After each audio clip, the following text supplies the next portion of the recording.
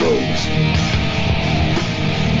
ghosts, ancient civilizations, the supernatural. We may never know the truth about what's really going on, but it sure is fun to speculate.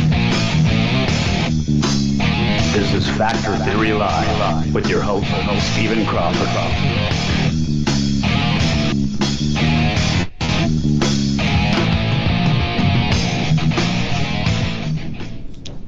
Right, Welcome, welcome. to the show, everybody. Oh, give me a second here. Echo through there. Uh, I am Steve Crawford, like the intro said. Tonight, I would like to talk about something that uh, has fascinated me for a long time, a subject that really started to float my boat shortly after I found out about Nikola Tesla. I probably spent about a month looking for everything I could find on Tesla and my mind was blown about that. Then I happened upon something called Behail, uh, Behold a Pale Horse, and you know, I was like, what the hell is this guy talking about? And the way he talked, Bill Cooper, it, it took him a while, but uh, he really got a, a command over his audience, mixed in the humor and everything, and the things he talked about ultimately uh, had to have some part in his demise. And he used to have a show that I was lucky enough to hear, and and he's one of these guys. s- You ever have a conversation with your friend and they're like, you know, who, who'd you like to go back in time and, and sit down and have a beer with?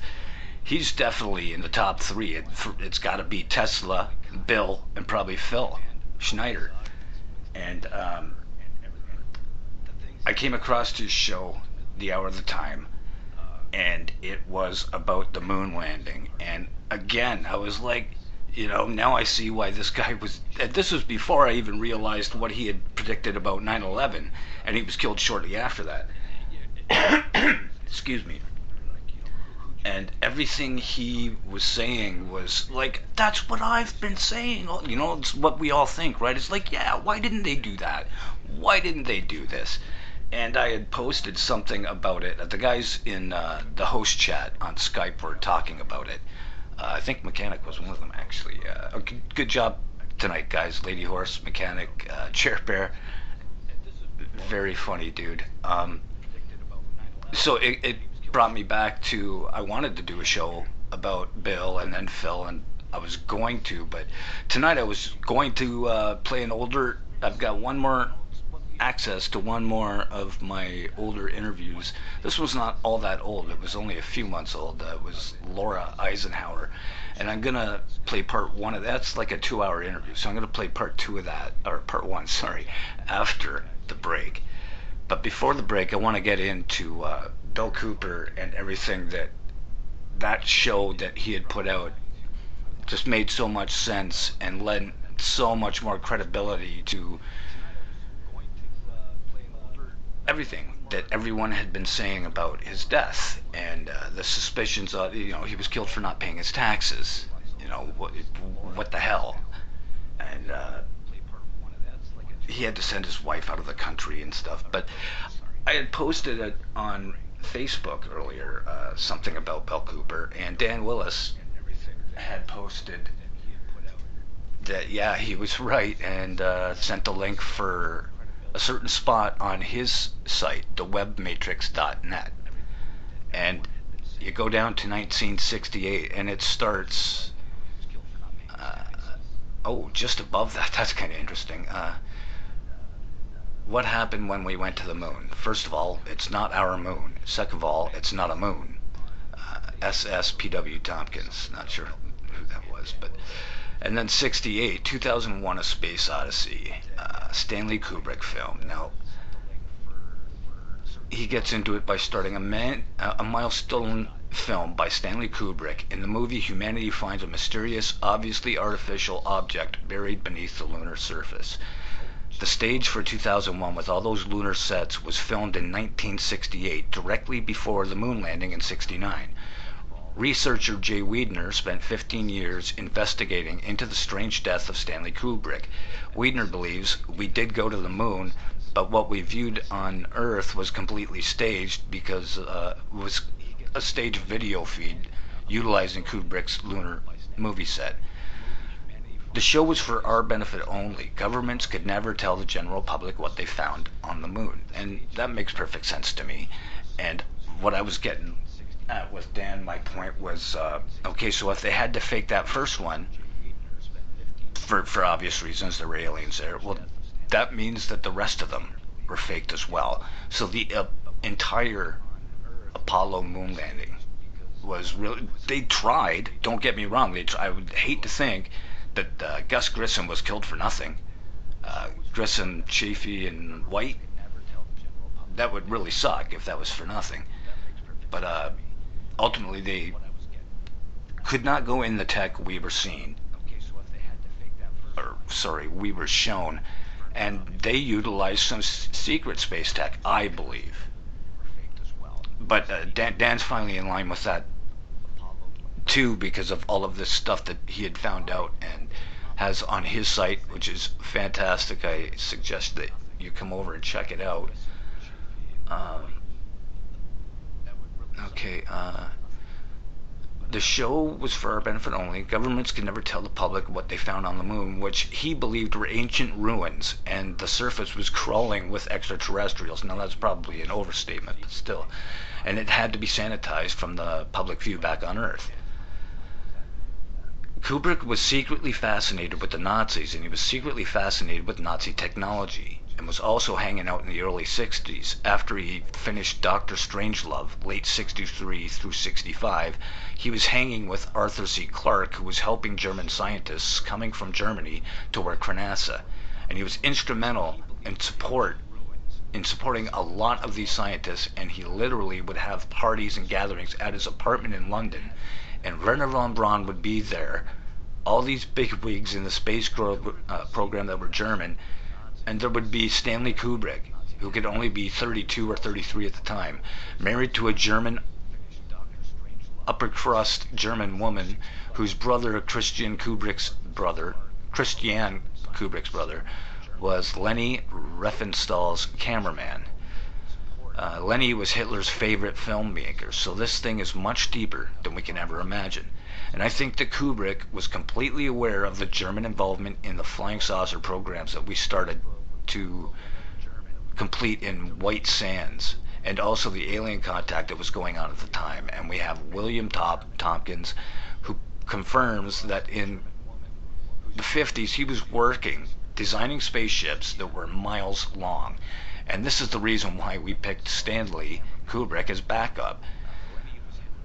So it, it, makes perfect sense why they had to do it now, and a lot more people are coming around to that. Okay, we, you're not saying we didn't go, you're just saying Apollo was fake. Yes, that's what I am saying. We did go, but Apollo was fake, and it had to be for obvious reasons. If that is the case that aliens were there, and, and I believe it was. Uh, let me this Skype thing here. And so I had prepared, and hopefully this is going to work out. And you may have to turn your volume up a little bit because I've been having audio issues. But this is a very special uh, fair use claimed the hour of the time with Bill Cooper using NASA's own math and, and their science to base his assumptions, and, they're not really assumptions. That's another reason they hated him. He was considered the most dangerous talk show host in America because he actually went for facts and science. But if this works, here we go. The hour of the time. Dale Cooper.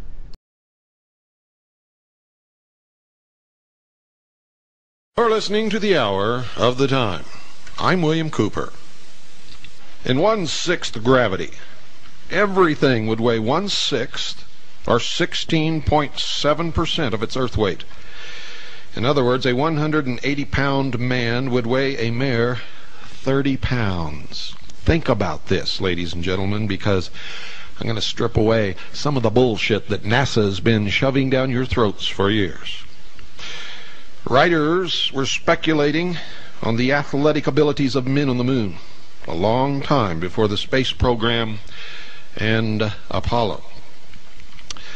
They based their calculations on one-sixth gravity because that's what the scientists told us the gravity on the moon would be. And the public was anticipating some of these spectacular athletic feats when astronauts explored the moon. Do you remember seeing any? None were ever performed, ladies and gentlemen. There just weren't any. And you say, well, they were weighted down with these big, giant, heavy suits. Mm-hmm. I got a bridge. You want to buy it? You may remember the televised pictures of astronauts moving around on the moon's surface. If so, we challenge you to recall any extraordinary feats at all. Because in all actuality, ladies and gentlemen, there were absolutely none. Zero. Zilch. Zip. Nothing. In the November 1967 issue of Science Digest, an article appeared by James R. Barrie entitled How to Walk on the Moon. In it, Mr. Barrie predicted that men would be able to make 14 foot slow motion leaps, perform back flips, and other gymnastics just like professionals, and be able to easily move up ladders and poles with their arms, not even having to use their feet. Another prediction was given in 1969 by the writers of U.S. News and World Report in an article entitled U.S. on the Moon. Look it up. And they said, with gravity on the moon only one sixth as strong as it is on Earth, a home run hitter in a lunar baseball game could drive a ball well over half a mile. A golfer's drive from the tee would sail clear over the horizon out of sight. You wouldn't be able to see where it landed, uh, even if you wanted to. See, the height an object will rise in a gravitational field, ladies and gentlemen, depends upon its initial velocity. And if an object had the same initial velocity in one-sixth gravity as it had on Earth, it would rise six times as high. If the initial velocity of the object were doubled over its Earth velocity, it would rise 24 times as high, and if tripled, it would rise 54 times the Earth height. Imagine, imagine the golf tournaments in such an atmosphere. A man jumps vertically by bending his knees and then flexing his thigh muscles to full extension. Try it yourself, right where you are. Get the feel of this so you'll know exactly what we're talking about. You see, when he does this, it propels him off the ground with a given initial velocity that can be measured.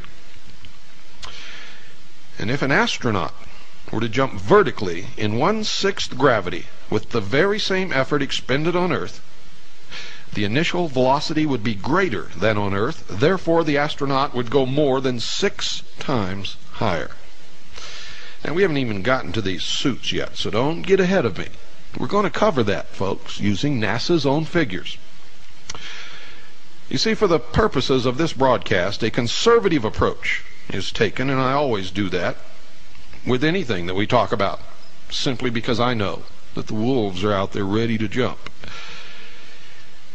We take a conservative approach in determining the relative jumping ability of astronauts in one-sixth gravity versus Earth gravity. A complicating factor, folks, is the alleged weight of the spacesuits and backpacks worn by the astronauts. Now here's where the fun begins. You see, NASA claimed, NASA claimed, it's their own figures. I didn't make this up, and you can check yourself. NASA claimed that the gear weighed 185 pounds. Let me repeat that so that there's no misinterpretation.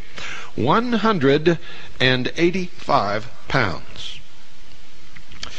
Now this is a terribly oppressive weight to carry on the earth. But folks, it would be no problem whatsoever in one-sixth gravity. That is assuming that, that the astronauts weighed 185 pounds and their gear weighed the same. And these are the NASA figures, and the astronauts, all of them weighed pretty close to that figure. The total combined weight, ladies and gentlemen, in one-sixth gravity would be only 62 pounds. Now just ruminate on that a little bit. If the astronaut weighed 185 pounds, and his entire suit, all of his gear, weighed another 185 pounds, the equivalent combined total weight in one-sixth gravity would be only 62 pounds. And I'm here to tell you I could do amazing things if I weighed 62 pounds anywhere. Anywhere at all. But we didn't see any of that, did we? You see, this is still only one third of an astronaut's body Earth weight without any gear. Are you beginning to understand? Therefore, the astronauts should have been able to jump vertically far higher than they could on Earth without any burden. And you remember when they were tooling around in that little car and they were spinning their wheels and the dirt was flying up, making a rooster tail? Well, folks, that dirt didn't fly up very high and it didn't stay up in the air. It came down really quick. And according to statistics, dust in a one-sixth gravity atmosphere. In fact, an atmosphere only 2% as dense as Earth's atmosphere, that dust should still be floating around somewhere, shouldn't it? But it didn't. How are we going to explain this? How does NASA explain it? Very simply, folks, they don't. They can't. They never could, and they never will. Quite a number of professional athletes, ladies and gentlemen, can jump over three feet off the ground when they are stretched out, such as in a basketball layup. These athletes are the exception. But an average man in good condition can easily manage 18 inches in a standing vertical jump. Try it in your living room. Try it right now. I don't care how much you weigh. If you can't reach 18 inches, there's something really seriously wrong. Like you might be permanently injured and trying to jump from a wheelchair. It can be assumed that the astronauts, ladies and gentlemen, were capable of attaining this on Earth with a moderate effort, especially considering the rigorous training and the physical condition which they were expected to maintain. And in fact, if they did not maintain that certain specific physical conditioning, they would not have been allowed to make their flight. Are you following? Clear, crystal crisp logic that only comes from the hour of the time. And finally, folks, since John Young's vertical jumping during the Apollo 16 mission has been observed on film many times by all of you and by me, the question of spacesuit mobility and height attained can be discussed because we've all seen it.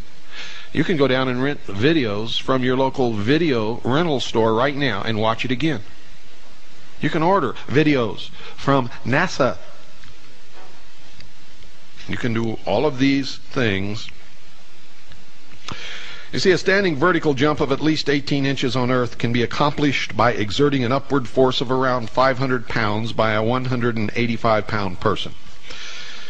An equation can be derived which gives the relative heights attained by an astronaut in one-sixth gravity carrying a burden equal to his weight, and the same astronaut on Earth without a burden.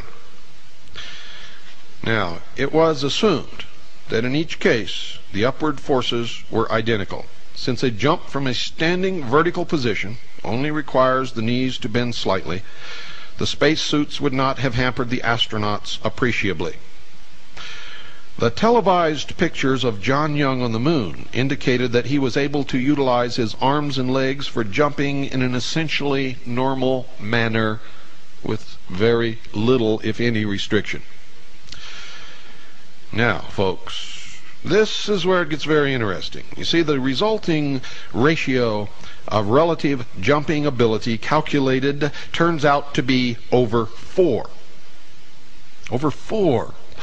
Now, this means that even with the astronaut gear, Young should have been able to jump over six feet off the ground if the moon had one sixth of the Earth's gravity. Now, let's be conservative. Let's say he should have been able to only jump three feet off the ground in one sixth Earth's gravity. Did he? Not on your life. In actuality, his efforts lifted him at most, ladies and gentlemen, 18 inches off the ground. Observations indicated that Young made several attempts to jump as high as he could, but with no success in achieving a height of more than 18 inches. He is shown at the peak of one of his jumps in one of the famous NASA photographs. And if you can obtain this photograph, you will note the position of the top of Young's helmet in relation to the flag. Now, critics might claim that he wasn't really trying. Now, if you were on the moon and you had a chance to make a record jump and you knew that you were being viewed on television by billions of people around the world, are you trying to tell me that you wouldn't really try? Really? Is that what you're trying to say? Do you expect me, William Cooper, to believe such blithering nonsense? Because I don't believe it for one second. I think Young was trying the very best that he possibly could.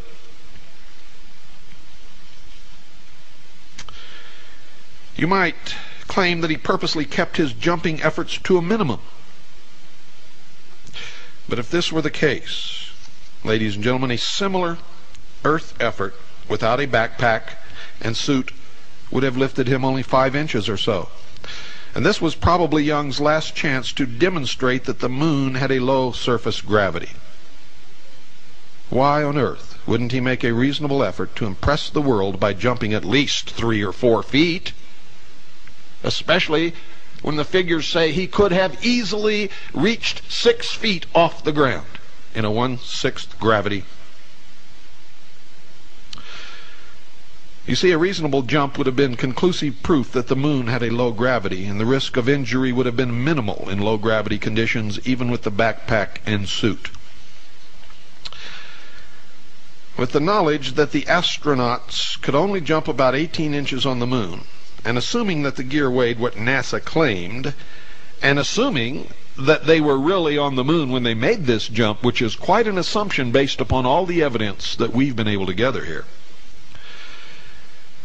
Moon gravity is conservatively calculated to be at least 50% of Earth gravity. Now, if NASA overstated the true weight of the astronauts' gear, moon gravity would be appreciably higher. Evidence to follow, ladies and gentlemen, I'm going to present it to you during this broadcast, suggests that the astronauts' gear weighed no more than about 75 pounds total. That's right, 75 pounds total. But even if it did weigh 185 pounds, as NASA says, we've already given you enough proof to show that NASA's been lying to us for a long, long time. The moon's gravity was calculated to be 71% of the Earth's based on the following assumptions, ladies and gentlemen. That John Young jumped 18 inches on the moon. His space suit and backpack weighed 75 pounds on Earth, and he could manage 18 inches on the Earth without any burden. Now, even if that's wrong, if his suit actually weighed 185 pounds, it would still say that the moon's gravity was at least 50% of Earth's, assuming that all of these other things are constant. A lot of writers, ladies and gentlemen, seem to give the impression that the moon suits worn by the Apollo 11 astronauts were extremely restrictive. Yet the following information take from We Reached the Moon by Wilford indicates that this was not necessarily the case, and in any event, observed actions of the astronauts during the filmed portions of their activities on the moon shows that they moved around easily. They did not tire under this supposedly great burden. They were able to take long excursions, conduct explorations, chip off moon rocks, plant flags, set up experiments and equipment, much of which was left on the moon. Wilford, you see, mentioned that Neil Armstrong found that he could move around easily in his bulky spacesuit and heavy backpack under a lunar gravity one-sixth of Earth's. The costume, according to NASA, weighed 185 Earth pounds and was flexible enough so that the wearer could walk, dig, climb, and even place instruments on the moon's surface.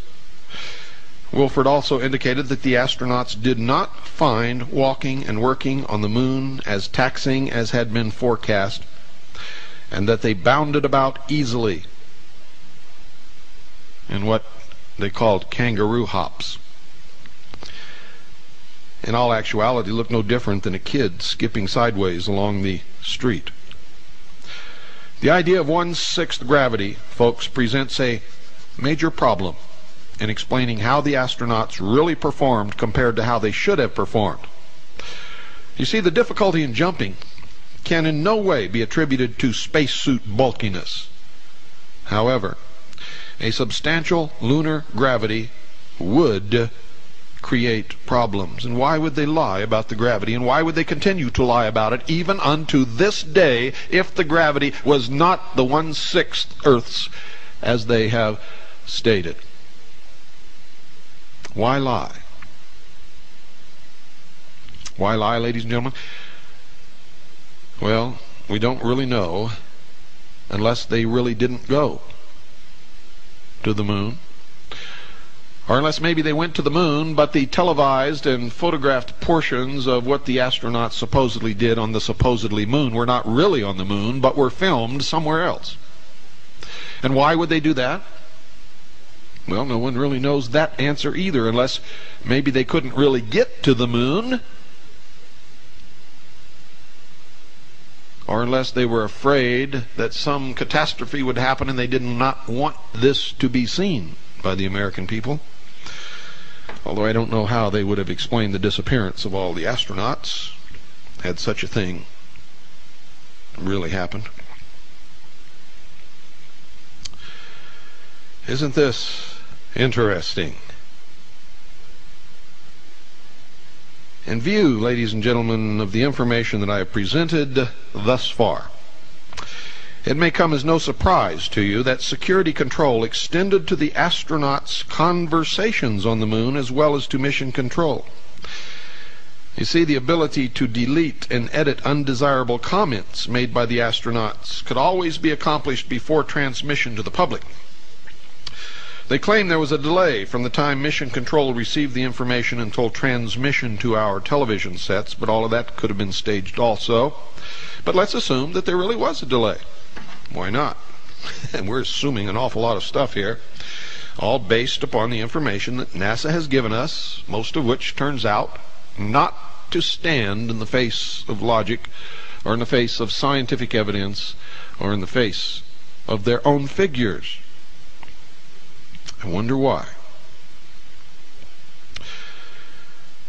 The following is a summary of information taken from the Voyages of Apollo by Lewis, which points out the degree of control exercised over the Apollo mission activities. You see, he indicated that the astronauts' tasks were all carefully plotted out in advance. The explorers were expected to follow the plot as faithfully as actors in a play to stay on schedule. Every move was planned, timed, recorded, uh, and every deviation from the plan had to be explained and justified. Ladies and gentlemen, virtually every event and movement was governed by the flight plan, a script as large as a telephone book. Now, it seems to me that even the dialogue was carefully controlled especially when the astronauts knew they were being filmed or recorded for television, and this proves out to be a fact. And it can be demonstrated when references to a hot mic are made by one of the astronauts.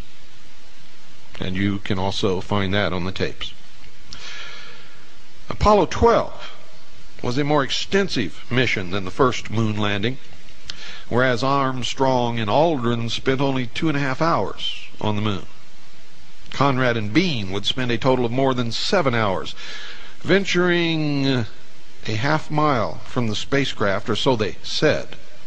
When you examine the photographs, the horizon in every single picture is always exactly 100 meters from the camera. Now, I have a degree in photography, folks, and I can tell you that that's absolutely true. 100 meters. Didn't matter if they were in hilly terrain, flat terrain, bumpy terrain, no terrain. The horizon was always 100 meters from the camera. Wherever the camera was. This mission was to involve many scientific experiments, including an aluminum foil solar wind collector. We'll discuss that on another broadcast because that's very interesting also. So is the flag, which you can see flapping in a lunar breeze in one of the films. Amazing. In an atmosphere that's not supposed to exist, where there can be no wind. The flag is flapping in the breeze. Evidently, somebody forgot to shut the studio door. The first Apollo 12 discrepancy of significance revealing a high lunar gravity occurred just after Conrad jumped the final three feet from the bottom of the ladder to the moon's surface, and I'm not going to tell you about that until after this break. Don't go away.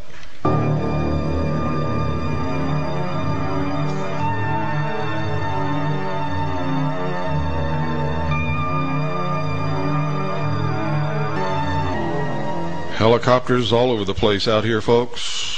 South of town for the last several nights. Large maneuvers involving helicopters and troops on the ground and in the air. Right now, there are three black helicopters on the ground at the St. John's Airport. Don't ask me what's going on because they don't tell me what their plans are or what they're doing. But I will tell you this there is an ominous air. And we are always ready in Arizona. Continuing with our broadcast, this information that I'm going to give you was summarized from an account of the incident by Lewis. As Conrad stood on the lunar module landing pad, he stated that the last step may have been a small step for Neil but was a long one for him. He then stepped off the pad and mentioned that he could walk pretty well, but that he had to take it easy and watch what he was doing. As Conrad was scooping up the contingency sample, Bean warned him not to fall over since he appeared to be leaning forward too far. Now, supposedly it would be difficult for him to get up in the moon suit if he fell over. Conrad then stated that he did not think Bean would be able to steam around as fast as he thought he could. Now, folks, in this incident that I've just recounted to you, it seems that Conrad was commenting on the final three foot jump since he referred to Neil Armstrong's jump down to the surface, not an intermediate step to the lowest rung on the ladder.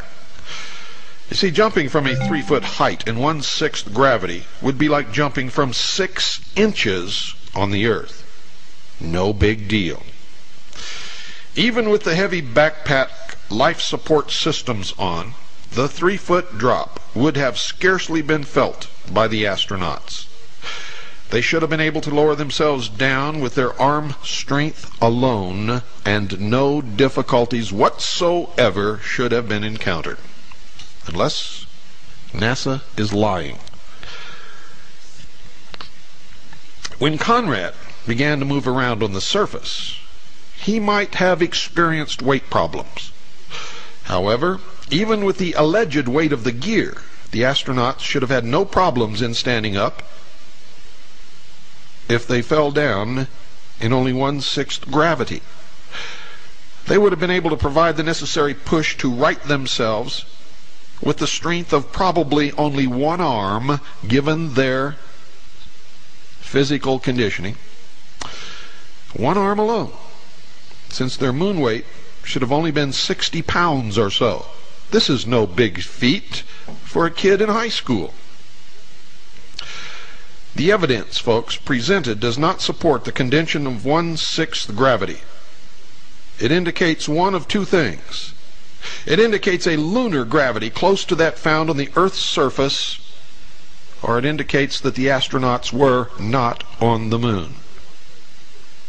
Either one of those conclusions, if true, proves that NASA has lied to the American people and the world for many years. A photo appeared in the December 12, 1969 issue of Life magazine, which showed Apollo 12 astronaut Alan Bean carrying a barbell-shaped package of instruments which allegedly weighed 190 Earth pounds.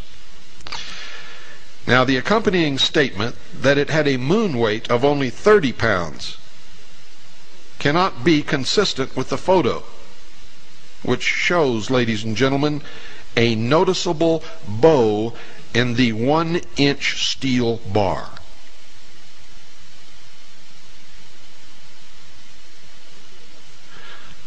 Now let's say it wasn't steel. Let's say it was aluminum. But the barbell, the total weight, which NASA says only weighed 30 pounds in the moon weight, even a one inch aluminum bar would not bow like you see in that picture. What else could it have been? Balsa wood? I don't think so. The movie film of this event is even more revealing, ladies and gentlemen, as Bean carried the instrument package across what was said to be the lunar surface. The bar bent up and down, strained by the heavy burden on each end. It was also apparent that the instrument package was quite heavy from Bean's efforts and movements, something that could not have been if they were only in one-sixth Earth's gravity. Before the remaining Apollo missions are discussed, folks, it may be of some value to you to examine how the astronauts were given training to prepare them for their excursions on the moon. If a 185 pound astronaut carried a backpack life support system and spacesuit weighing 185 pounds, the combined total weight of astronaut and gear would be 370 pounds on Earth, compared to 62 pounds in one-sixth gravity conditions. And remember, we're talking total weight. Therefore, an Earth simulation of one-sixth gravity would have to lighten the astronaut and his equipment to one-third of his normal Earth body weight. Any attempt to simulate one-sixth gravity on Earth would have to be made underwater or with a special contraption which actually helps to lighten the astronaut and his burden, regardless of whether he's moving up or down. And both of these methods were employed by NASA. Both of them. However, in early 1964, ladies and gentlemen, space scientists discovered Oregon as a place to serve as a lunar workshop without using water or special devices. You see, astronauts were sent to the Bend, Oregon area to get their moon legs, so to speak. Walter Cunningham was the first to try out the moon suit, backpack, life support system, and certain tools which were to be used by Armstrong and Aldrin on the moon excursion. In the first test over lava rocks, Cunningham lost his balance and sprained his thumb, tearing small holes in the suit glove which caused it to lose pressure. Evidently a full simulation was attempted.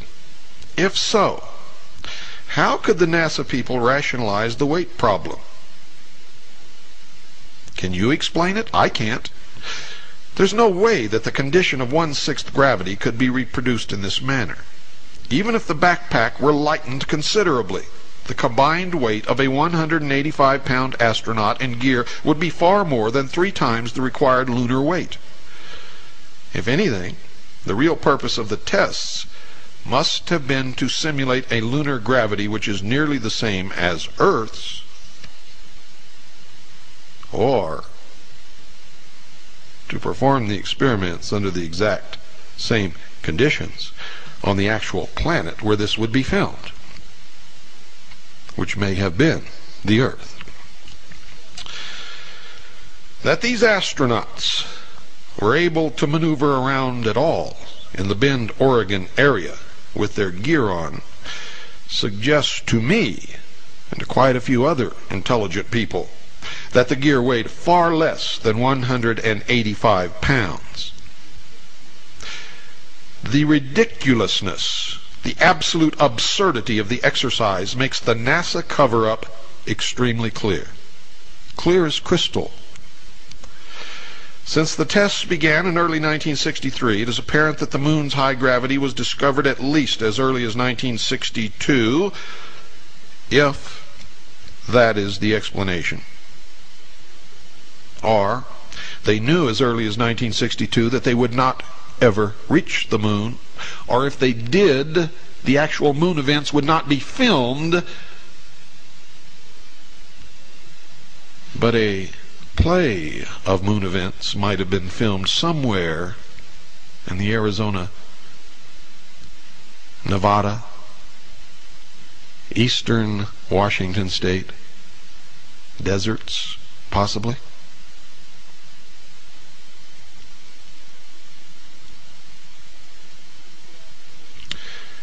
You see, throughout the early Apollo missions, folks, an attempt was made to impress the public that the Apollo moon suits were extremely bulky and awkward. This would greatly inhibit the astronauts' mobility on the moon, causing the public to believe that the moon's gravity really was one-sixth Earth's, or to believe that what they were seeing was really taking place on the moon, if in fact it were not. Consequently, the astronauts would be effectively handicapped and incapable of impressive athletic feats. It is somewhat unbelievable from that from the time Cunningham tested out the best available spacesuit gear in 1964 until the first Apollo landing in 1969 that little improvement was made in the suits. You see, the public has always been told that the best equipment was provided for the astronauts. And I can assure you, and the record bears it out, that enough money was paid to develop the very best equipment possible. A little digging brought an interesting discovery to light. In Suiting Up for Space, written in 1971, Lloyd Mallan stated the following and I quote verbatim As a matter of fact, Hamilton Standard had already achieved a spacesuit with 93% of nude range before October 1968. Let me say that again. As a matter of fact, Hamilton Standard had already achieved a spacesuit with 93% of nude range before October 1968. Now, folks, nude range means the mobility of the human body with no restrictive clothing whatsoever. Nude, in the nude. They had already achieved 93% mobility with a suit before October 1968, when they demonstrated it before the aerospace scientists and engineers attending the fifth annual meeting of the American Institute of Aeronautics and Astronautics held at Philadelphia, Pennsylvania. Live demonstrations of the suit during the week-long meeting attracted wide interest and attention, and I'm still quoting, plus some disbelief it was hard for some of the onlookers to believe that so much mobility could be designed into an inflated spacesuit. But it was. For the advanced suit was developed to meet the greater mobility requirements of manned space missions to follow the Apollo moon landing program and would in fact be tested on the moon. Now, me and several others contend that if as early as 1968 this was the best piece of equipment available. NASA had the time and money to ensure that it would be used on every Apollo mission. And of course, that was the goal. After all, billions of dollars were spent in sending men to the moon. It is only reasonable to make sure that once the men are there, they can perform their tasks in the best possible manner. If they were not used, then perhaps NASA wanted to continue to convince the public that the moon had a weak gravity. Or if the astronauts were encumbered, there would be less chance of a breach in the cover-up. The bulkiness and weight would be good excuses for anemic jumping and maneuvering attempts. However, what appeared to be stiff waists in the suits were shown to be a lie when they easily climbed into their lunar rover vehicle and sat down in the seats.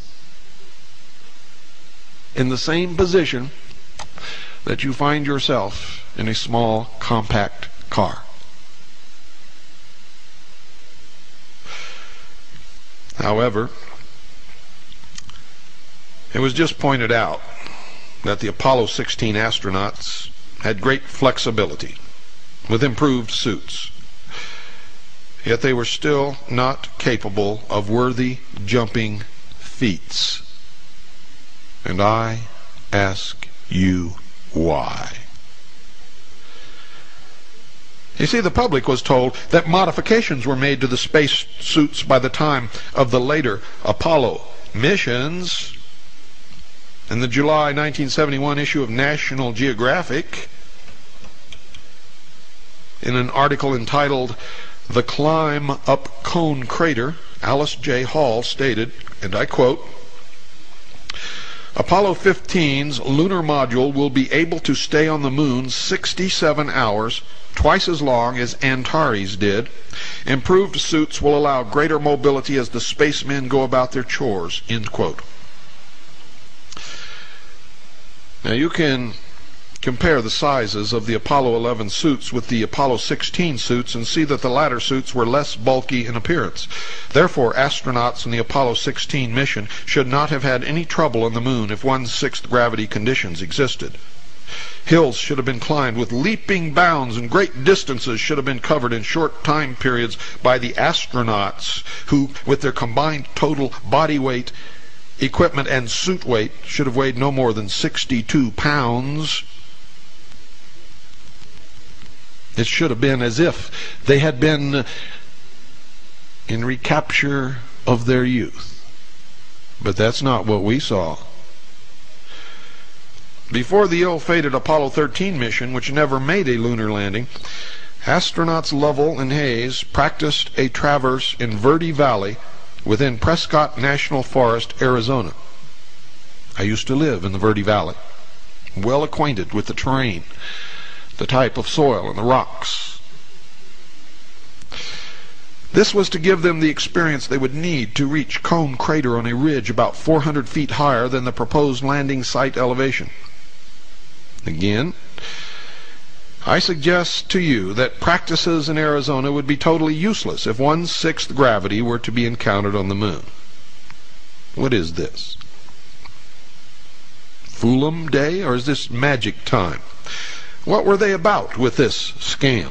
Because that's exactly what it was. A scam.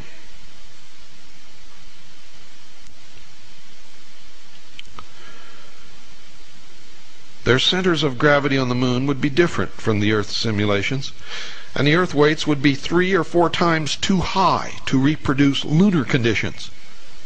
However, the practice sessions would certainly have been useful in simulating Earth gravity conditions. Do you understand what I'm telling you? If Cunningham's backpack and spacesuit had weighed 185 pounds, he would have become totally exhausted in just a couple of minutes.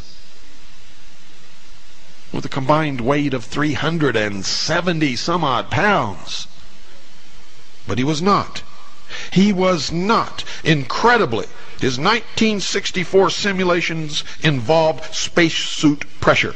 This implies that he carried oxygen and some sort of cooling system. Otherwise, he would have quickly passed out from the heat exhaustion. And, as an ex-professional diver, can tell you that's true. And all this evidence points to the conclusion that the life support systems and spacesuits were light enough for the astronauts to have performed in high lunar gravity conditions for extended periods of time because they did it with the same equipment in Earth gravity with no problem. In addition, this was accomplished as early as 1964, ladies and gentlemen, and developmental efforts would have lightened the gear considerably by 1969, and indeed the evidence and the statements by NASA and others confirmed that this did indeed take place. The combined spacesuit and life support system weight was probably less than 75 pounds. That's what the evidence shows. Exotic light metals and the best known materials available to NASA would have assured this.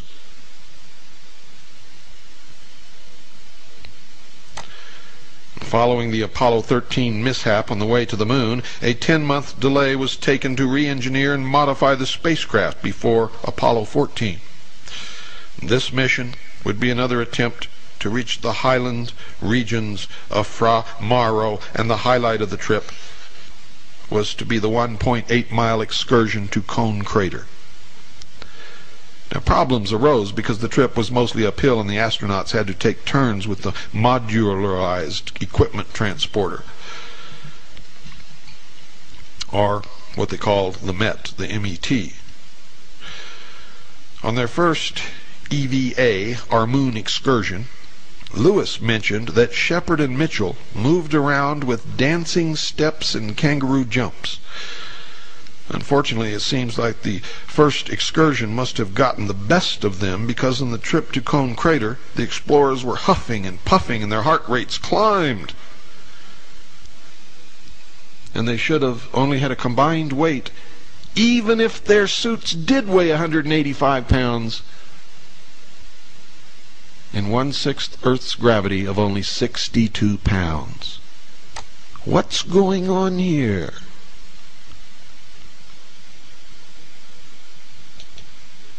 The difficulties were attributed, NASA said, to their semi-rigid, cumbersome suits and the heavy backpack life support systems which supposedly weighed 185 pounds on Earth. Somebody is lying. It's important for you, the listener, to understand that the combined weight of astronaut, spacesuit, and life support system could not have exceeded 62 pounds using NASA's own figures in one-sixth gravity, and this could hardly be considered a sizable fraction of their Earth weight. Yet NASA claims to this day that their figures are correct. For men who were moving with dancing steps and kangaroo jumps the day before, slight hills seemed to prevent a formidable challenge.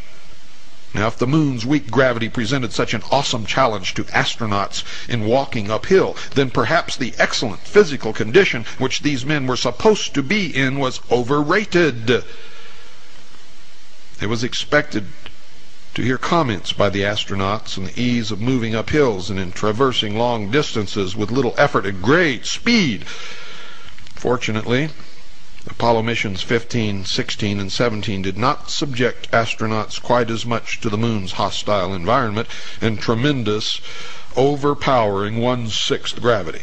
The lunar rover was to transport them most of the way to their destinations. And it didn't weigh much either. And yet when we saw it hit a bump, it did not fly way up into the air, and neither does the dust kicked up by the wheels of this amazing craft.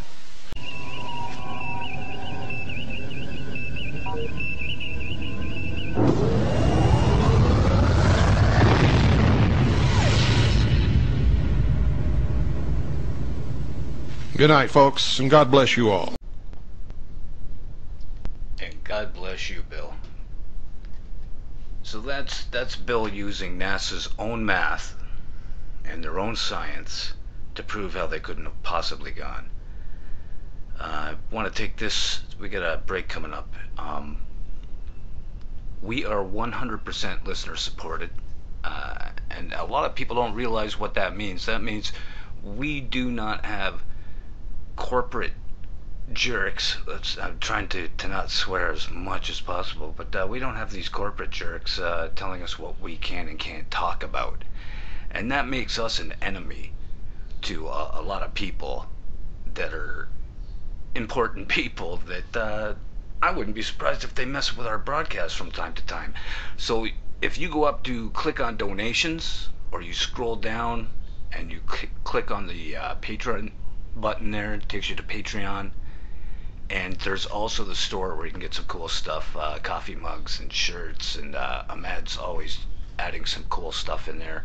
I've got to get the mouse pad. My mouse pad is just crumbling to crap on me. Uh, but you can uh, find us at uh, freedomslips.com and join the chat room. Uh, it was open for a while to everybody, but uh, you do that and you got to worry about uh, getting. I know it sounds paranoid, but hey, I'm a conspiracy guy, so I can say this. You got to worry about getting trolls in there that are trying to stir up trouble, and it's happened quite a bit. And uh, you got to say it's not cool when it does. Um, there we go. And so on the other side of the break, it'll be uh, Laura Eisenhower.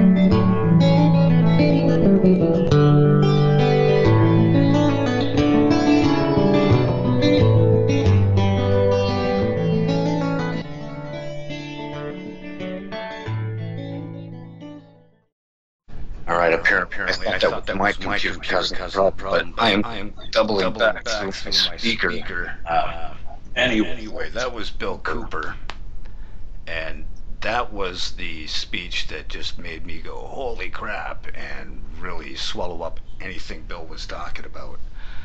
Uh, this next interview, it's two hours, so I'm going to put one part on tonight. Uh, this was, I had been talking to Laura Eisenhower on and off on Facebook and Skype uh, for a couple of years, but hadn't arranged the time to do an interview. And this was the first time I got to do that, and we had Dan Willis with us. Uh, she had a lot of questions for Dan, and you'll notice right off the hop, I sound really scatterbrained, and I, I even have a brain fart.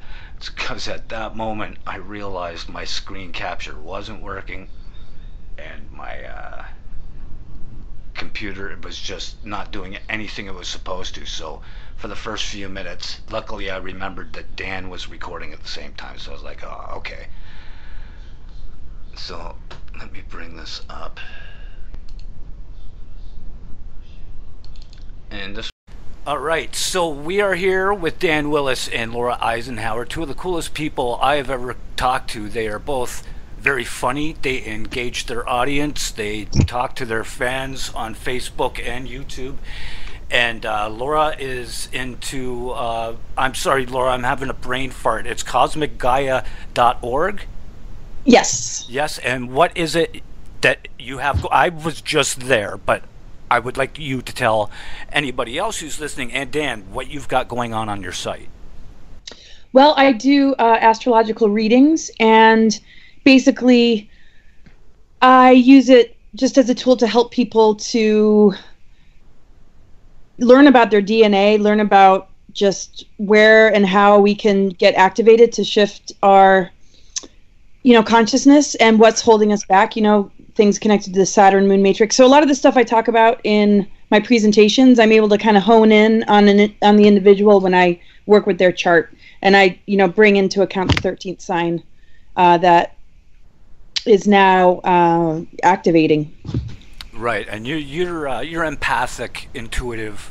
That I, I believe that's what you were saying on that uh, YouTube show. I think it was called Friday Night Live.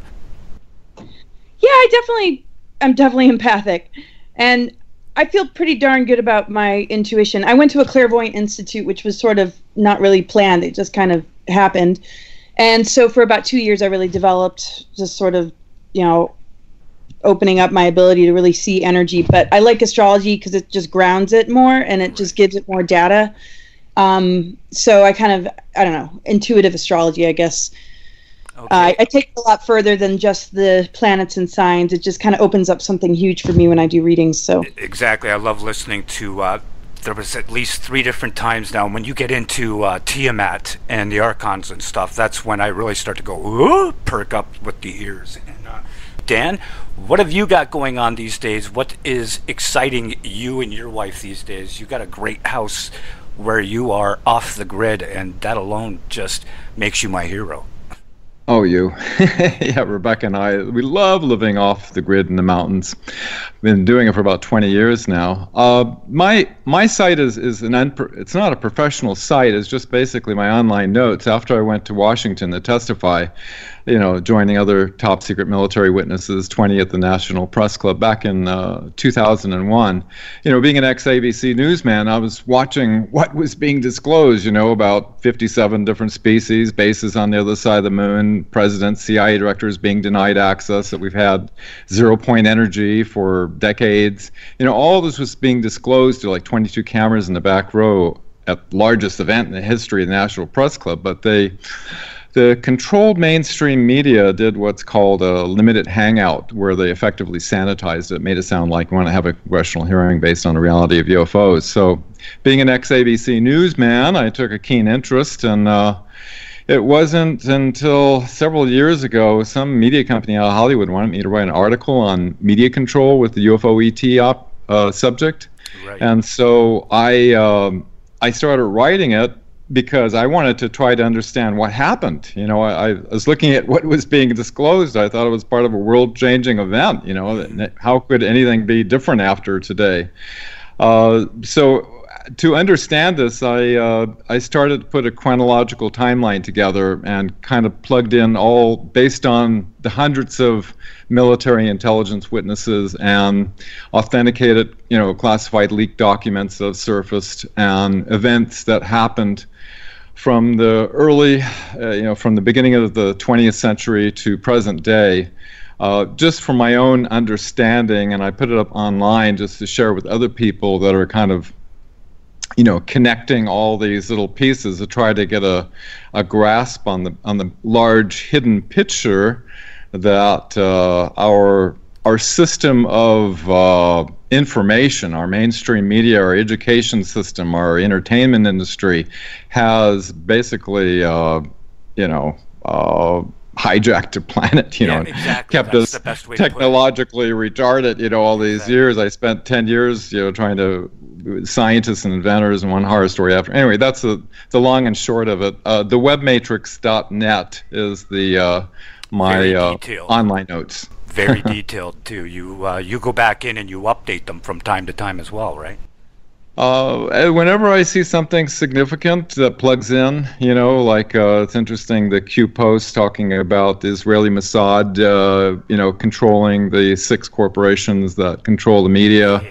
And, you know, you go back to 1996 when the CIA director, William Colby, was allegedly to expose child sex trafficking, the Israeli Mossad infiltrating into the CIA.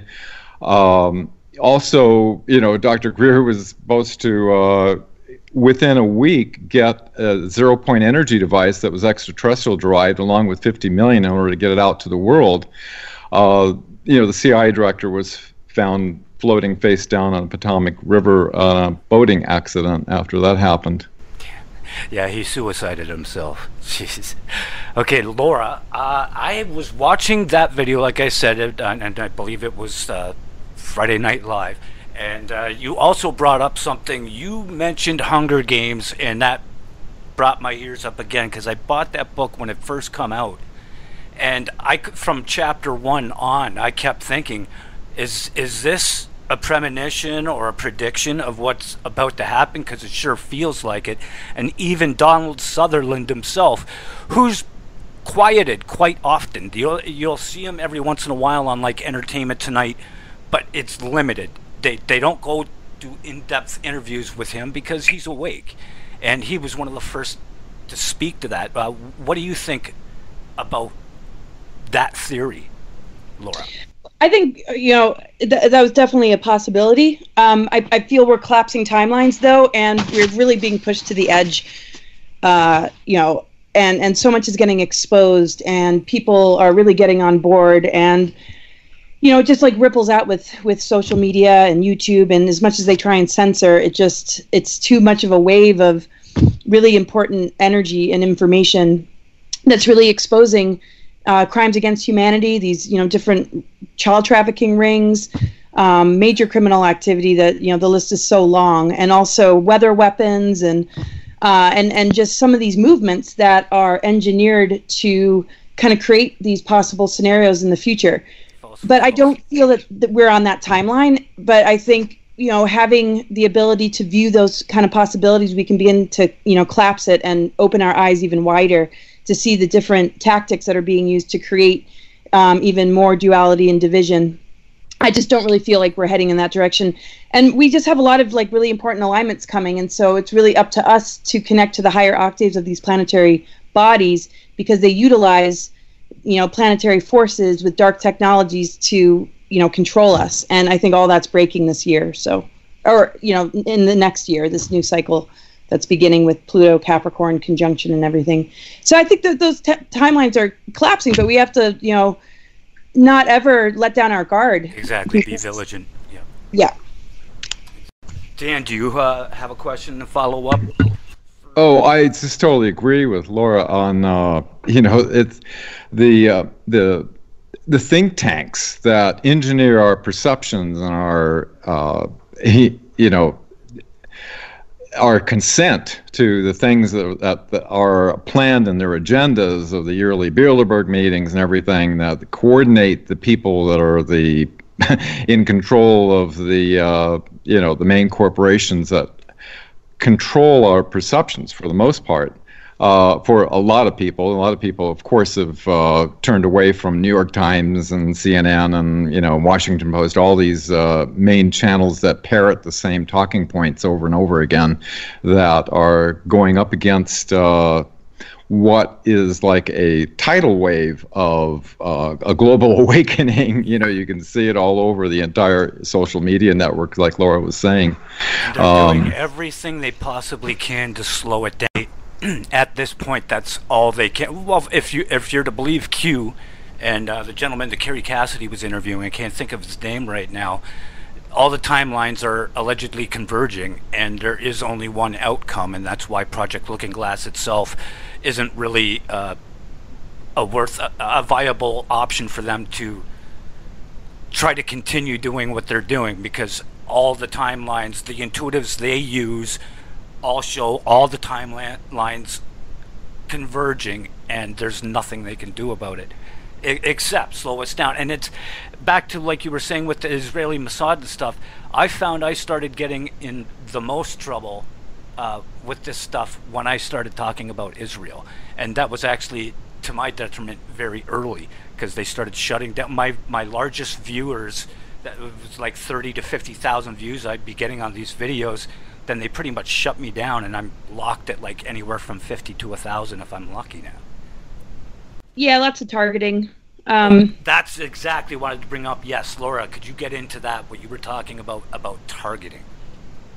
Well, yeah, it's just the tactics to, to cause defeat and to cause, you know, when, when there's defeat, whether that's uh, with with the kind of information a person's trying to put out there, but also spiritual defeat. Because when we start to switch on dormant strands of DNA and begin to connect into our galactic chakras, there's a lot of psychic attack. And it just, you know, they can really monitor and target, um, you know, really strong energies, you know, being born. Uh, you know, children, advanced children being born, and you know, we, we see vaccinations and the pharmaceutical companies and just all this manipulation to just a child's sense of identity. Um, so, targeting is i mean the whole human race is targeted. So you know but but in this field of course getting this information out uh, having particular missions. I mean i've been targeted my whole life and i know most people in this field have been targeted. Uh, I, I it's it's so weird to not feel it as much. And i know dan lives off grid. I'm in the mountains myself and in the woods and i feel a lot more buffered and clear. And i'm like oh my gosh i'm actually feeling grounded. I can actually g- get into my body. But uh, at certain events though i feel kind of thrown but I, you know you just get get used to it and the whole thing is is it's just defeat because like you said the looking glass technologies they couldn't see anything past 2012 and everything does end up uh, with it, with the inevitable result of you know great awakening and and being in an advanced frequency that is uh, an override frequency to AI and all this you know dark technology and manipulation and mind control.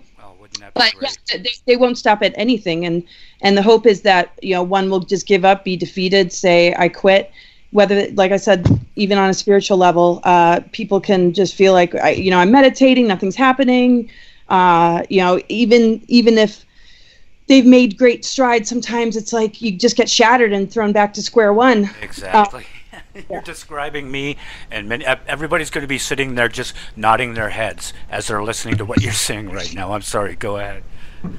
Oh yeah, well that's pretty much it. And you know, you just got to get back up and just brush off the dust and and just keep at it and and just never give up. And that to me wins the war. And the war is also one within ourselves because it's a war on consciousness. We have to uh, be really authentic and true to ourselves and just work the energy. And we're working a lot of ancestral stuff. And I mean, it's just a lot. And and it feels pretty heavy a lot of times. And sometimes it feels like there's no real progress. But I think we're doing amazing. And to be at this place in in history.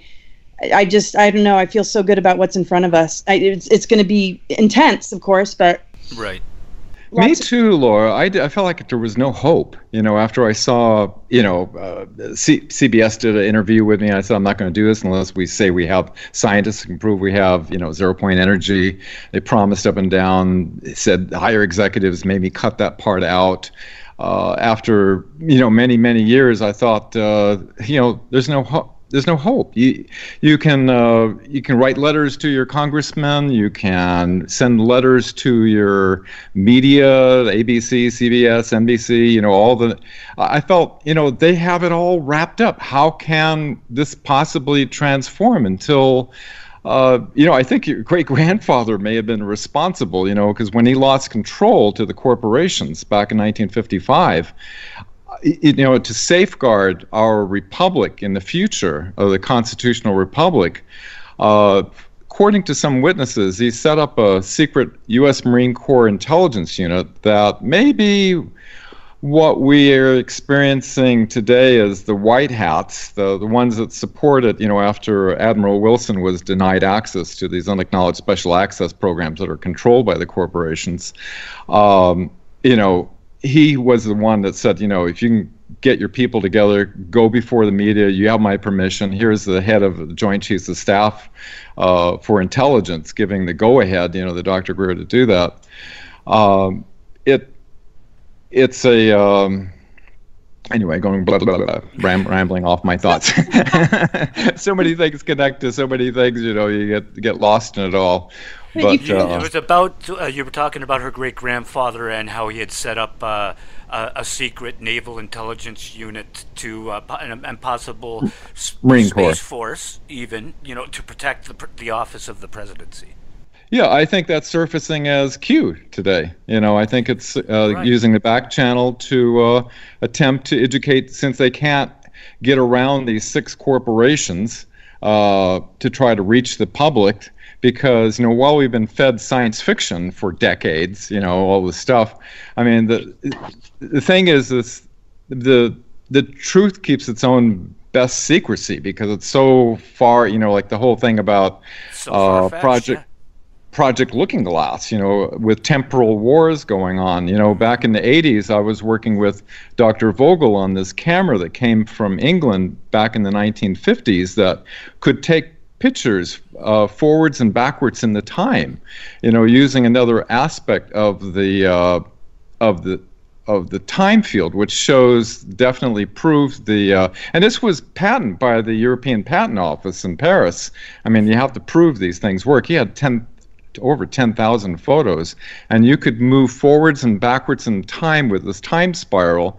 And it wasn't the same technology as, uh, you know, Project Looking Glass, but it shows that there is this uh, fractal holographic nature of all reality that's all interconnected, and that you can attune to an aspect of it and attune to a, a particular time in that aspect of it. Well, that makes perfect sense to me too. You would think that at, at some point, I mean, e- even as far as uh, ghosts go, th- there should be a proper frequency. And we should be able to hear these voices and we should be able to you know the right frequency view the past and future like they're saying. Uh, so uh, to, to me i don't understand why so many people are just like oh it's just unbelievable. And i'm like have you not heard of nikola tesla? Just just nikola tesla all on his own the things he was doing 120 years ago are, are just mind blowing. So when, when I found that out, to me, you know, nothing's off the table now. And but and that some that some guys like myself that can actually be really bad because it can encompass our whole lives and it can throw us into that depression where you feel hopeless and like there is there's no no way you can get past the gatekeepers who own everything. If they own all the networks, how can you get on a network to tell the people what's going on, right? I mean, like it's really huge that uh, that Amy Robach thing came out with, you know, holding that information for three years about Epstein. Right. And that that really did spread and really helped people to see this dilemma of of how the media works. But Dan, did you say that you feel that Eisenhower helped to create the Q thing and and the white hats? Yeah, you know, according to uh, you know some of the great research work, you know, when we went to Washington in 2001, and um, you know, just before the 9/11 event, uh, one of the future false flag events they had planned uh, that was disclosed. Um, what uh, what happened was it inspired, you know, Gary McKinnon, the UK hacker, found out there was a U.S. Navy space program going on. It also inspired and got fired, you know, Dr. Michael Salla, who I'm a big fan of his research work at exopolitics.org, He's who's been doing a man. series. Yeah, and he's been doing a series on the um, on the uh, Project Looking Glass. But what uh, what what is happening is uh, that when he lost control, you know, according to Brigadier General Stephen Lovekin, who was on, you know, Eisenhower's staff, that he had lost control of the corporations. You know, as, as you know, you and I partaked in the the movie uh, Above Majestic. Um, my little piece that I put in there was talking about Eisenhower of all things.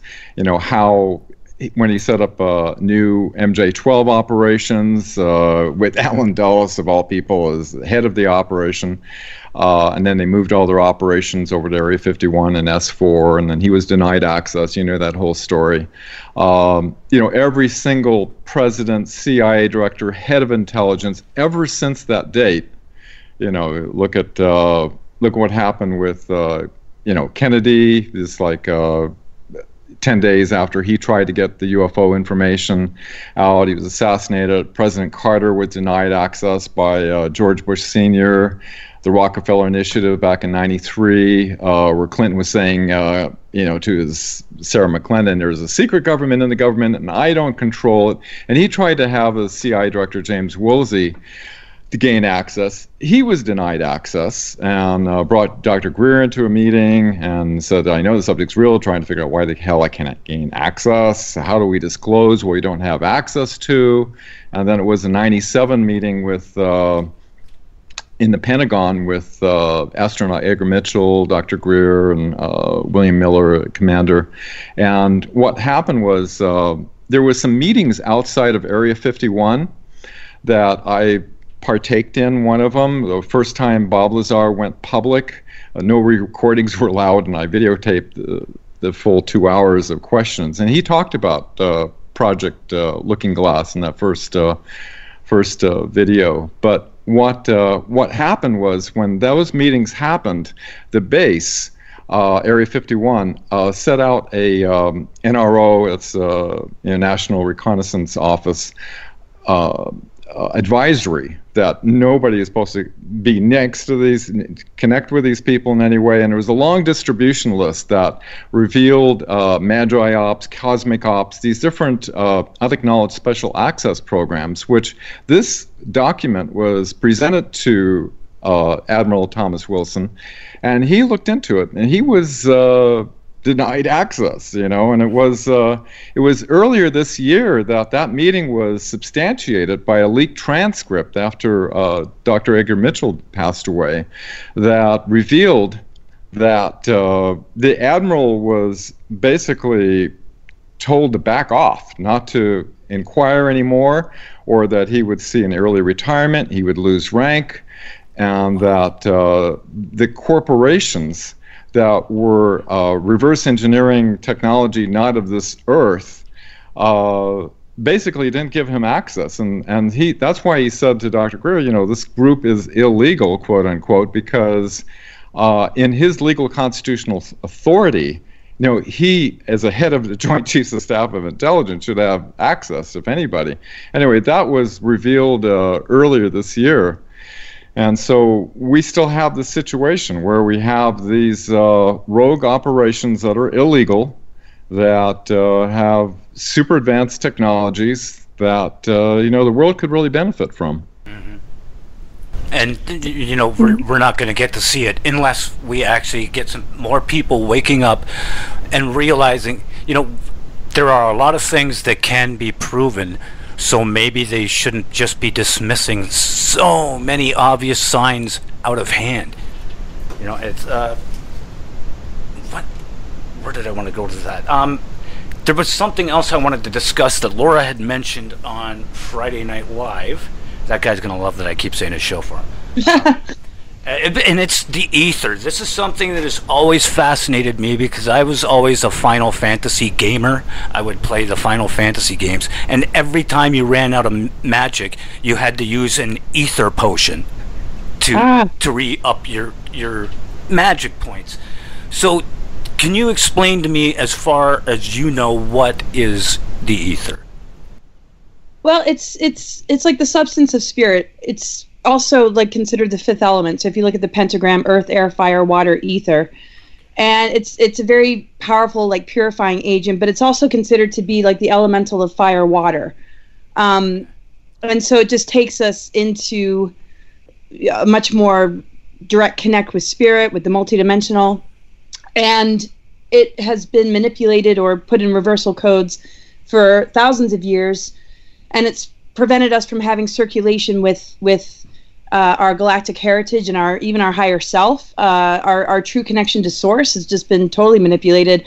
Our bodies have uh, you know aged and we die and um, and we're operating under you know just something that's uh, just been compromised and it keeps that junk DNA alive because we've got like frequency fences um, in our DNA, and so something called reversal 55 is connected to the dodecahedron platonic solid that um, is now spinning correctly since the sun started to move through Ophiuchus in 2010, and it's a zodiac sign that's actually ruled by the element ether. And 13 is very significant as a number connected to uh, the mother energy and the return of balance of the masculine and feminine, and the integration of polarity that allows this scrambled these scrambled fire codes to uh, correct themselves. I hope I'm saying this in a clear enough way, but um, so having access to the ether allows us to um, recognize that spirit holds dominion over physical matter and that we can really switch on our dormant abilities. And the venus transits which the mayans understood have you know the, the orbit of venus has drawn a perfect pentagram in the sky and has been the planetary body behind this correction on this earth.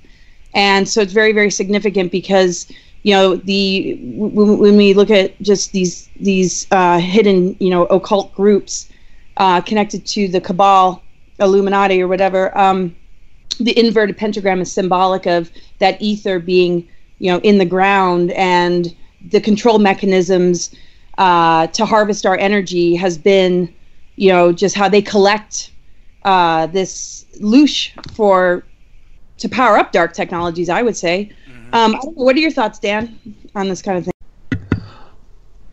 I, you know, it's totally relate to that. you know, because studying sacred geometry ever since that ET experience I shared with you had back in 1977 that led me into all that esoteric uh, metaphysical laboratory research I did back in the early 80s. Um, I think. Uh, you know, it kind of reminds me of Avatar. Yes, go ahead. The movie Avatar. you know, the, the way that when the corporation shows up and destroys their mother tree, that that essentially to me that was like Gaia being destroyed. These people actually would plug in to connect with nature, with the plants, with the animals, yeah. and with each other. And to me, Avatar was a great illustration of what the human race was meant to be, at least to a, a certain extent. And uh, you know th- everything that Laura is talking about, the changes in frequencies, uh, the chemtrails. As we speak, both of my ears won't stop ringing. You know all these things to disrupt our frequencies and cut us off from source including the vaccinations uh, at birth especially at birth. And the doctor will tell you no no the the, ba- the baby's fine. He's just crying because you know he's a little scared and a little bit of the pain from the needle no this baby's veins are on fire because you just shot it up with 30 different vaccinations at birth you know and you know, I, I have to I have to interject in there. Is another Tibet uh, taboo subject is the uh, medical system. You know, my oh. my, my great grandfather was the president of the homeopathic medical uh, society that was going up against Rockefeller, who was trying to push you know the allopathic Do medicine. Tell in the early 1900s. And, you know, William Tompkins, one of the very well documented witness, said that, you know, the Nazis basically, when they, you know, infiltrated not only the CIA and NASA, and, but they also infiltrated the pharmaceutical industry and they're in control of the highest positions today in that. And if you look back at the history of uh, the Nuremberg trials and IG Farben and the connections with, you know all this and you have to wonder it makes you wonder especially with all the uh, you know like like my mother you know was told she was going to die from this cancer if i take her across the border to the gerson nutritional therapy where they completely cured her. I stayed with her down there and uh, she lived to be 91 years old. Uh, but you know only uh, radiation uh, uh, surgery and you know pharmaceuticals are legally allowed, and you have all these people that are getting uh, seriously die that try to come out with things. We have, you know, it just looks like, you know, I mean, I'm not saying this is true, but I'm just saying it looks like uh, the Nazis uh, infiltrated in and uh, are carrying on a eugenics program on the when you look at the fluoride, the GMOs, and uh, everything else, uh, I'm just saying it appears that way. It certainly does. It, it's like Hitler was uh, the, the poster boy, but he was also just a puppet. Like, and people can say what they want about Trump and everything else. I, I'm the guy that's in the middle. Both sides have good points, but they try to force their shitty points on everybody else. And it's like, no, why can you not just have the good thing? You know, they try to force like their raises. There's absolutely no downtime when it comes to them getting their raises. Boom, that bill passes, and their next check is in the bank a week later with that raise on it. But anybody else has to wait, and that is something that uh, these people seem they they they think they're rock stars. They've forgotten that they're civil servants, and I think we've forgotten to to a large extent. N- not the three of us uh, obviously, but a lot of people have forgotten that these people are supposed to be here working for us, not taking things for granted. Like here in Ontario, I was telling Dan about this, Laura, that it's so ex- insanely expensive to live. Our food is about three times the price of yours. A one bedroom apartment in St. Catharines, Ontario is at least $1,100 a month, all bills paid, if you're lucky to find one like that. At, at at the I've probably got the last cheap apartment in the city. They're wiping out essentially the middle class. They're stepping up the game, and it's, I'm waiting for these white hats to come out or Q to, you know, Q Q's helping, but you know, I think he could work maybe just a little bit faster. Yeah.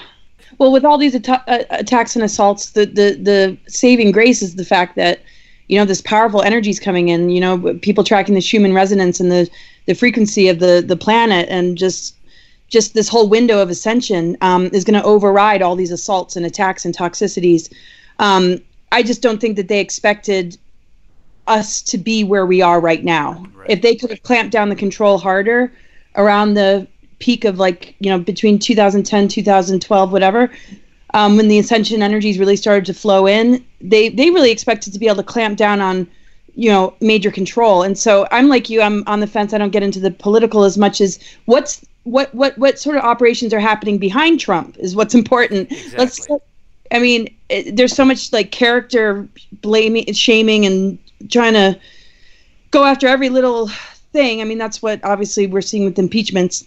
No but uh, there's way more going on in the background. It's not, you know, this administration has has done more to bring out the uh, you know the purge that's needed to be shown to, so so everybody can see the real criminal activity. And i don't think anything can stop that now. And we got to look at a much bigger picture than just these elected individuals Exactly, exactly. You know, my, my hope just went through the ceiling when back in 2017 when I saw, you know, uh, what happens is the deep state when they have a situation like a false flag event. You know, I had to go to Vietnam in combat action because of the Gulf of Tonkin false flag. Well, when 9/11 happened, you know, they did, you know, Patriot Act and National Defense Authorization Act, all these draconian laws. They got to a free, you know, you know, a free ticket to write all this stuff even Obama back in the NDAA of uh, 2013 made it legal to use disinformation against the American public. That's right. Even though, Yep. and um, what, uh, yeah, where was I going with that? Um, Whoa, what, what, what inspired me, what gave me hope was in 2017, uh, an executive order was done by Trump to block the assets of anybody doing human rights abuse or corruption, which, you know, read anybody in the cabal isn't involved Right, in one, of the, so of the two. Why they all hate him. And then, you know, changes to the UCMJ, Uniform Code of Military Justice, in order to try these people and then under military law rather than civilian. And then, you know, Guantanamo Bay being expanded, and then the tens of thousands of sealed indictments collecting, and then, you know, Q surfacing and, you know, kind of educating the, the people with little tidbits here and there. Um, you know, now I have I have my hope went right through the ceiling. Uh, this is like a very exciting time to be alive. Oh, it definitely is. And I mean it's it's almost surreal. It's like I, I know we all carry this this inner tension that makes it hard to sleep sometimes. It's just like hard to function in this reality. I, I you know, I mean, the more one's mind is blown open to what's like truly going on, the the ability to function as a human can sometimes go through all sorts of like, oh my gosh, you know, Yeah, there's so much to dealing with now. I had to, yeah, I was like bedridden for a while, just processing and processing and processing, uh, you know, on and off throughout my life. And I know it's a lot for people because it, it's enough to just try and, you know, keep a roof over our head and food in the fridge, let alone process what's really just your on. normal everyday life. Yeah, you know. and- Yeah, it's it's it's a lot. It's a lot. So, um, but yeah, and what we're going through on a physical level as well, because this is a mass deprogramming, and and and you know, programs exist in our bodies. It's passed down generation to generation. It's impacted, uh, you know, everything: DNA, consciousness, behavior patterns, health, um, and uh, you know, all this drugging of humanity. You know, we're not able to be in the natural initiations you know that life gives us to uh, you know have breakthroughs and and to shed layers that don't serve us anymore. And all those initiatory experiences are stunted and so our growth has been stunted. And we uh, you know so so now it's all accelerating and we're doing you know massive work that has not been done for th- for a really long time. You know processing things our ancestors weren't able to speaking things that were totally shut down and it's just like this explosion it's so it's really wild It's an, I- yeah, you know what? When but when you put it like that, it, it it is exciting. If I can put my own personal stuff aside, I'd probably be able to see that more, and I'd be able to get out of my funk a lot faster. Um, actually, there, there was something that I wanted to bring up. Have you either of you read or seen the movie uh, Celestine Prophecy? I read the book when it first came out a long time ago. Yeah. That that was something that uh, grabbed me. Yeah, I think I was about 20 years old when that book ca- came out, and I had read that, and I actually did the experiment, and I was able to see the energy between my fingers. Uh, they, they they describe as they're getting into these books, as they're finding the prophecies and that they teach you a little bit about the spirituality and what you need to do.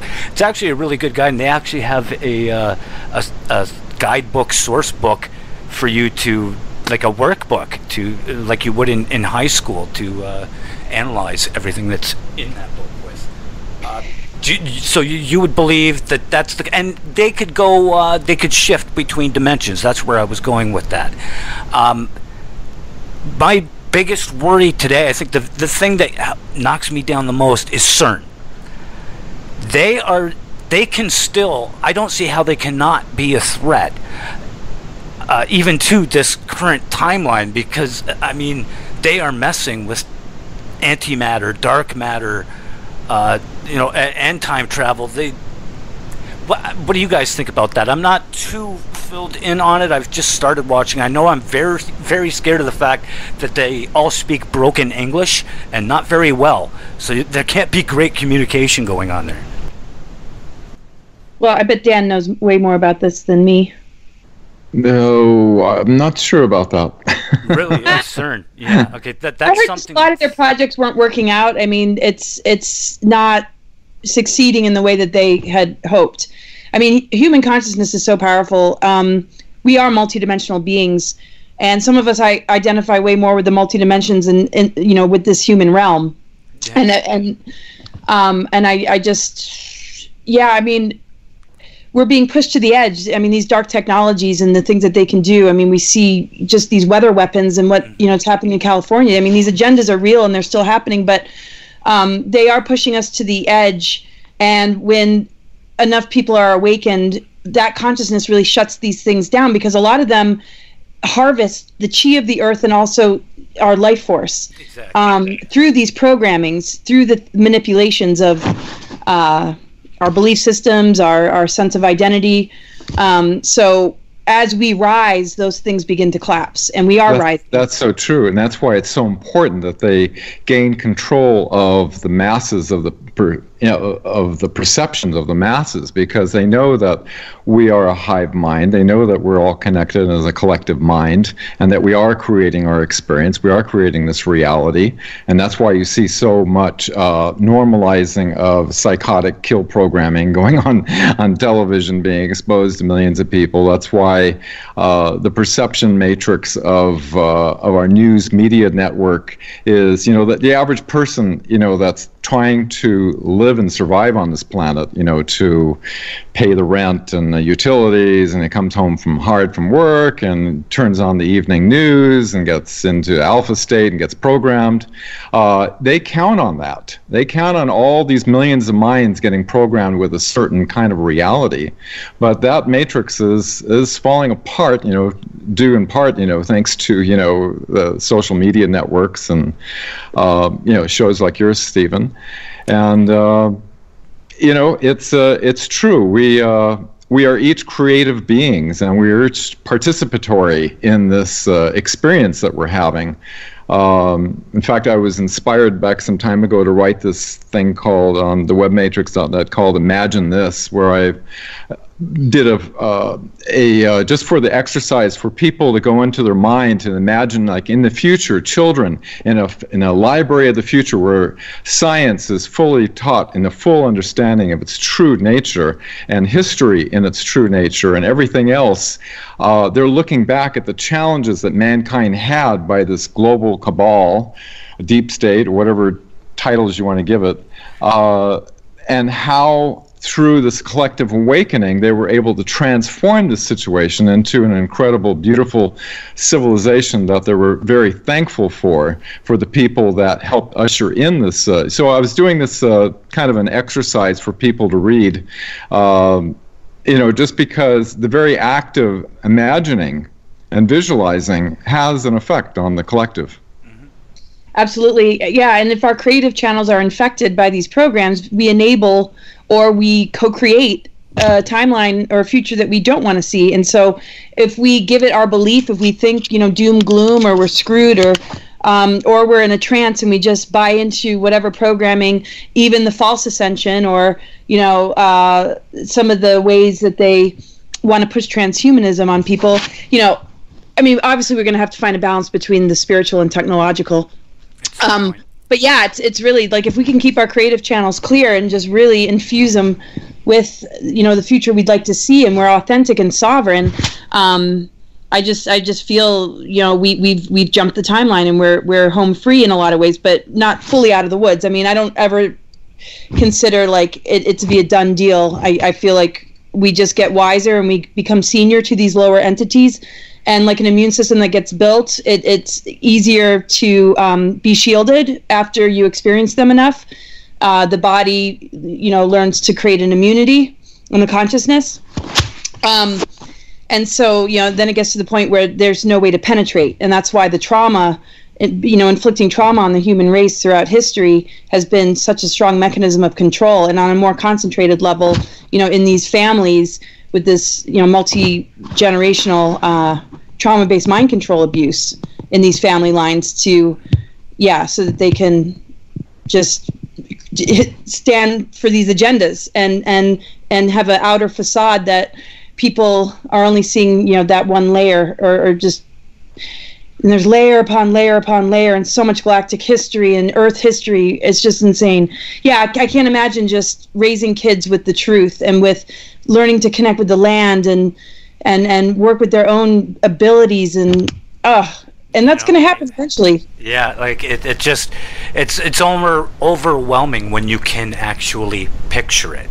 And, and, and you're just thinking why? You know why? There doesn't have to be bad if we don't project it. So yeah, it, it, finding a way to gain a hold of your thoughts, especially for people like me, is very important because that's something I worry about often, and I and I, I pray not necessarily to one God type thing, but I I picture good things happening for the people in my life and sometimes it actually happens and that's when you've got to step back and realize okay maybe i should be more positive try to uh, picture these things good things happening more often than the bad things and then maybe everything will start to turn out for the better well, I definitely, you know, turning lead into gold. I mean, that's why I say I, didn't kind of expect that I'd have it as a title of but you know global alchemists i mean we're all in this global alchemy turning the lead into gold the lead of saturn into gold and it's major transmutation and transformation. So we got to be okay though with going into the dark night of the soul and facing the darkness and and allowing ourselves to move through anger and depression and just do our best knowing that it's not going to be an ongoing thing. It's a catalyst. It's it's temporary um, because on the flip side of it uh, is where our wisdom lies where our truth lies, and it, and it's helping us. You know, it can help us to wake up. Um, if, if, if we open our minds up enough to the downloads or greater, higher communications. Because um, if we don't, we we just stay in the dark longer than comfortable. Exactly. yeah. Well, it's it's been essentially seven years for me, so yeah, I think it's time to snap out of it. And you know, it's like an electrical circuit. You know, when I, I was doing research, uh, you know, love is is a, is a key element. It's basically the, the, the structure of the matrix, and that uh, when you have uh, elements that are out of alignment with that, it's almost like an electrical circuit that will start to heat up and and burn up actually if it's too far out of alignment and uh, we're moving into a greater greater alignment you know just like you know the gratitude and everything, you see this uh, incredible uh, structuring going on where you don't have that with the discordant thought. And so we're moving into a more of alignment with the matrix, which is love. And, uh, you know, and, and the, you know, you think about the average person just trying to uh, deal with this. They don't have time to really research history. They've been exposed to, yeah. like I have, you know, the history in high school, and, and, and you go to the universities too, and you and everything's been taught to you in science and everything. They have no idea. They don't have the time to look back and see how Rockefeller took and rewrote what actually happened at the end of World War II to hide the Nazis escaping and infiltrating in with a plan called Weltanschauungskrieg, which means worldview warfare, which meant they wanted to come in and, you know, with Operation uh, Project. Uh, Mockingbird with Allen Dulles controlling the media and uh, Project Dove with Hollywood and the first movies that came out in 1951. The uh, 1951 also the Invention Secrecy Act, of which I spent 10 years meeting with scientists and inventors, which uh, they put a secret system into the patent office called Sensitive Application Warning System. Anybody has a solution to get off nuclear or coal, they get one of these uh, national security orders saying you cannot release it. Thousands of these have been issued to, uh, you know, a lot of inventors and things have been you know murdered too trying to bring this out. So they've kept us technologically re, retarded, you know, Yeah. through uh, our education, our media, our, our entertainment, uh, even people trying to come up with solutions for the world. They've kept us in this bubble of uh, where what when we start to talk about what's been hidden, it sounds so far out there. It sounds so science fiction like Right. that uh, it, it automatically, you know, promotes a rejection of, of these ideas because we've been we, we've been fed this uh, false reality for so many decades. Right, and it's like if if all of a sudden we were told that dinosaurs exist, but we never learned about it in school, we'd have the same issue. Like, wait a second, what? right. Exactly. There's no freaking way. But because that was introduced in our early education, it's like, yeah, that's it's just that's that's the power of conditioning. It's huge uh, to to have to relearn everything, and that's that's the hard part. Well, the, the uh, really hard part is how far back has history essentially been hijacked and rewritten? Now, th- really, how far back was it? You know, is it was it like they say the Illuminati's that Ida, uh, Adam Weishaupt? Uh, and and Oh. there's a, even a thing that he may have came over here and killed the original George Washington and took his place. Um, so it's like, w- what has been rewritten? What is the true history and what isn't? And at this point, I'm starting to think that almost everything we have, well, yeah, everything we have seen, uh, you and I know this uh, from your, the Vietnam War, from World War II, all this stuff. Everything has that other side. There's the political side, and then there's that supernatural element that is laughed at, utterly rejected by the people who are now in control of this technology. You, brought up a good point about you know relating to you know going back to 1776 when uh, you know Rothschild had Adam Weishaupt you know basically infiltrated the Bavarian Illuminati and they actually had plans in order to control the perceptions you know through their media at that at that at that stage. So you know you have you know you have Alexander Hamilton, which was the Rothschilds cut out basically to bring in the central bank in the United States.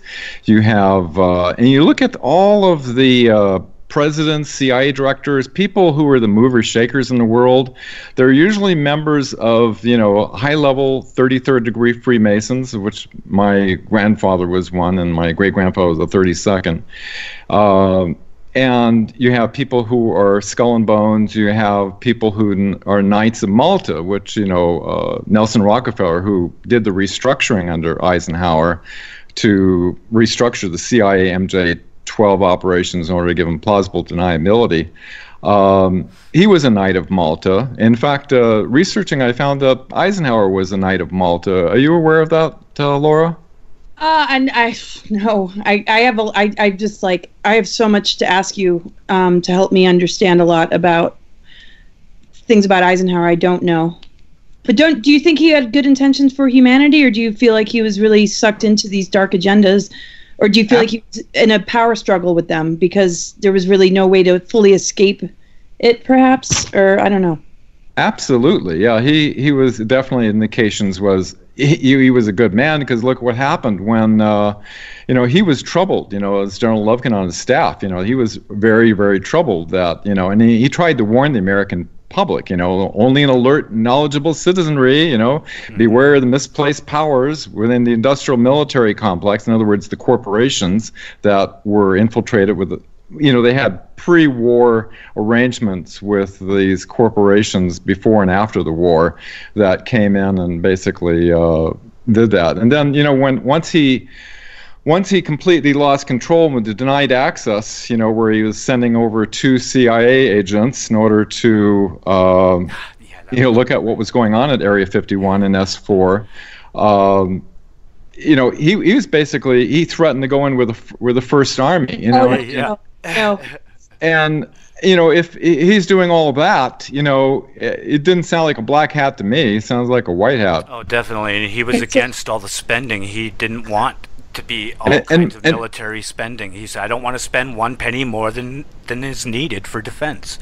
and most importantly was that he may be the one that's responsible for this whole turnaround. If he didn't set up that secret, you know, and Dr. Michael Salla can confirm on this too, because he's, you know, I've talked to a number of the witnesses that uh, this U.S. Marine Corps intelligence unit was set up to guard our, uh, to safeguard our, our legal constitutional republic in the future and Q may just be the seed that he's he put forth all the way back in 1955 that you know surfaced in uh, in 2017 so he may have been the one that saved the entire planet you know? Well it's amazing because i mean I, I almost asked that question weird about because i know in my heart of hearts a lot of this information and i I mean, he's been a spirit guide since day one. I mean, he he pretty much put me and my husband together. All of a sudden, my husband doesn't even channel or anything. He's like, Eisenhower was trying to get my attention, saying, "Go get her, go get her," because I was literally falling through the cracks. I was,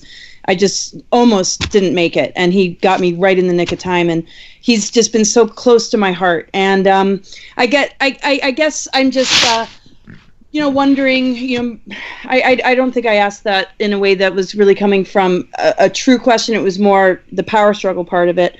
Um, I mean, you he got that DNA resonance going on with him. It's, um, you know, that other people don't have. Say that again? I said you have that DNA resonance going on with him.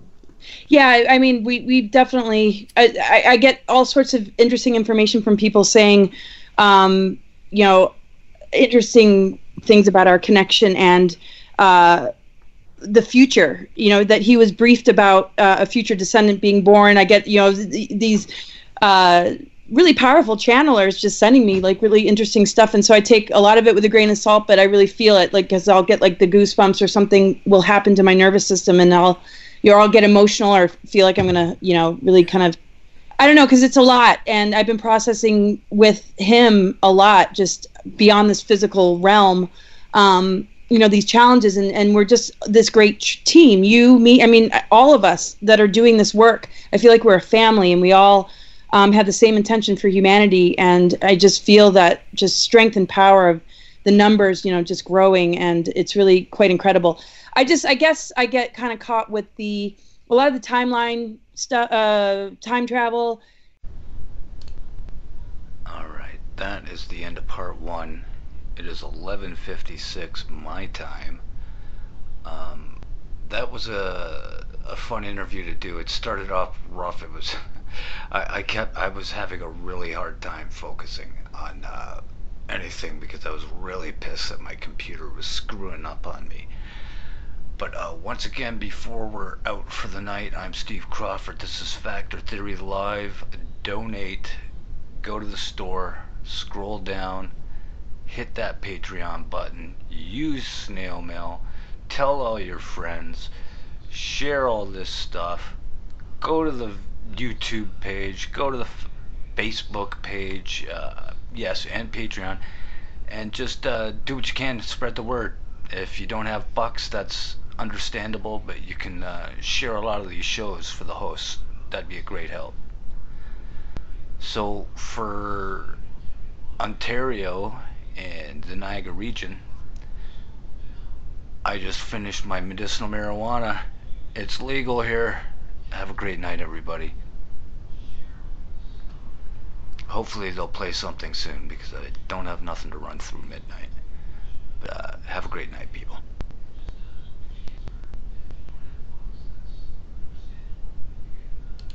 you.